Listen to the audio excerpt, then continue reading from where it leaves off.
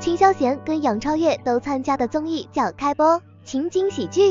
这是一档由东方卫视跟其他公司联合打造的情景喜剧 IP 化真人秀。该节目由百克力担任主持人，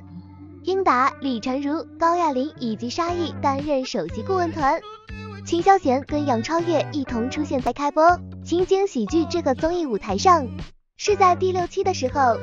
他们这个组合演绎的这个情景喜剧名字叫《加油姐妹》，其主要讲述的是关于刚刚大学毕业的方家小女儿方向，在面临中年危机的姐姐方红跟退休后陷入迷茫的父亲方明之间的家庭故事展开的。至于在这次的舞台上，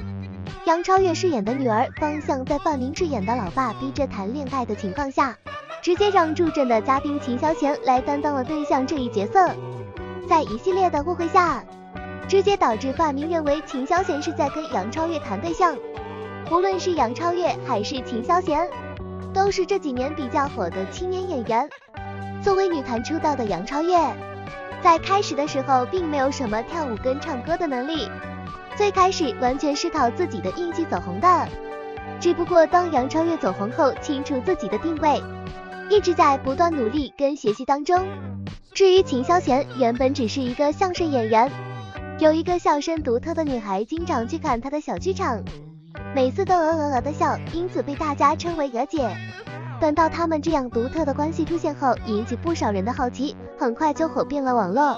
秦霄贤本人也因此火起来了。他后来又因为经常迟到扣钱，经常被师兄弟当成包袱在台上说，自然变得越来越火。